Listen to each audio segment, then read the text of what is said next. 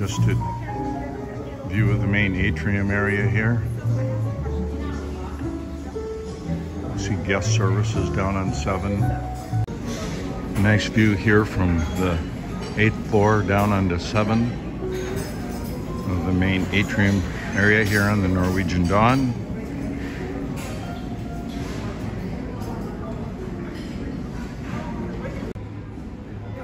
View of the atrium area from deck 7.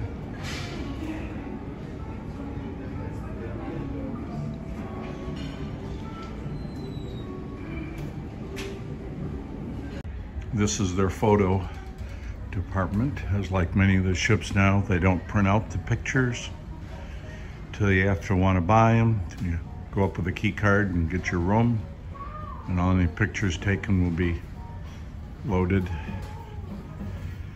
in there, and you can then get them printed out, buy some souvenirs, buy a few other little items, cameras if you want to spend the money.